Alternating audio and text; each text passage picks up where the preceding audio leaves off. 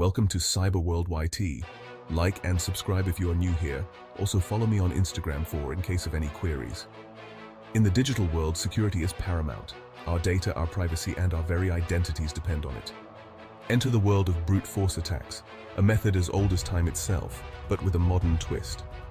These attacks rely on sheer computing power, attempting countless combinations until the lock is broken.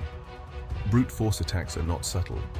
They are the digital equivalent of trying every key on a giant keyring until you find the one that unlocks the door. With the exponential growth of computing power, attackers can now leverage sophisticated tools to automate these attacks. Imagine a bank vault, its heavy steel door secured by a multi-digit combination lock.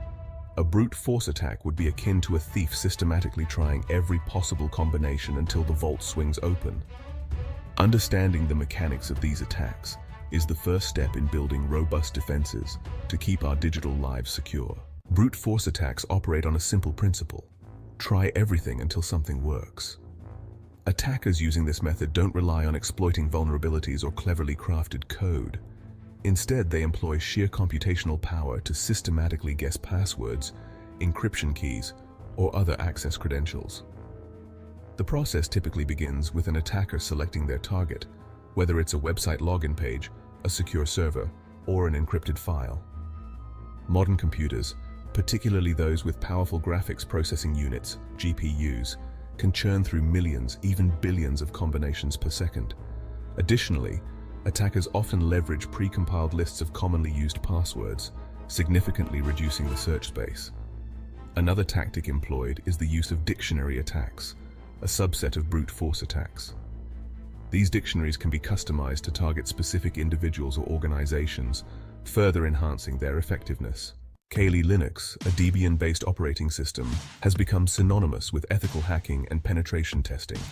Its arsenal of powerful tools allows security professionals to simulate real-world attacks, including brute force, to identify and address vulnerabilities.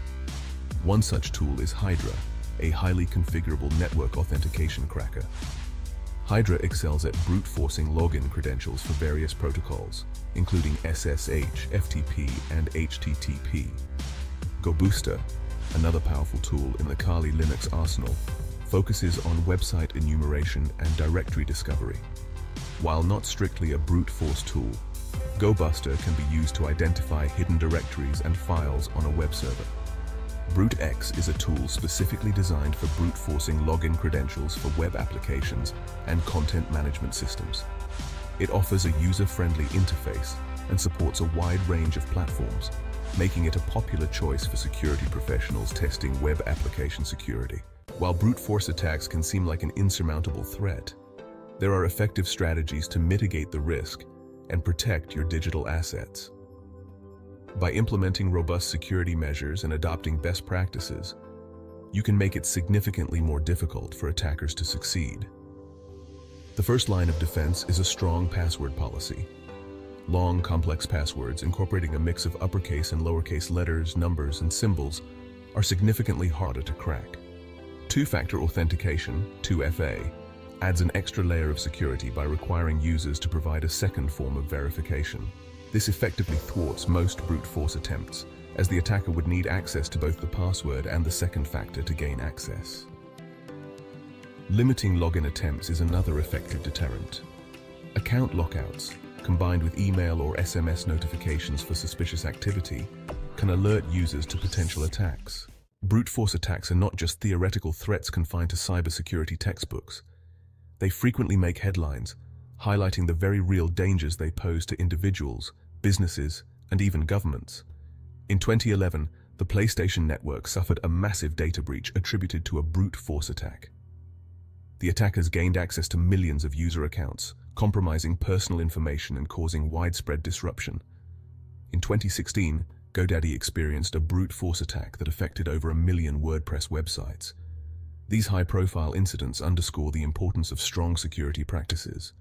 By learning from these real-world examples, we can strengthen our defenses and protect ourselves from becoming the next victim. The tools and techniques used in brute force attacks are powerful and can be used for both good and evil. Ethical hackers, often referred to as white hats, use the same tools and techniques as malicious actors, but with a crucial difference permission.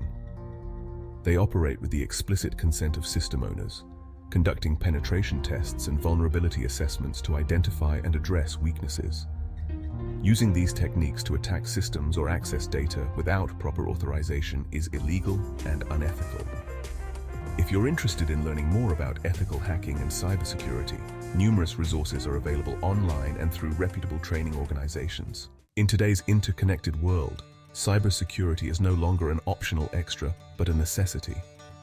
Brute force attacks, while seemingly simplistic in nature, pose a significant threat to individuals and organizations alike. By understanding how these attacks work, we can implement effective defenses to protect our digital assets. Strong passwords, two-factor authentication, and limiting login attempts are just a few of the measures that can significantly reduce the risk of a successful brute force attack. Remember, knowledge is power, and in the realm of cybersecurity, it's our best defense against those who seek to exploit our digital lives. Make sure to like and subscribe Cyber World YT for more amazing content.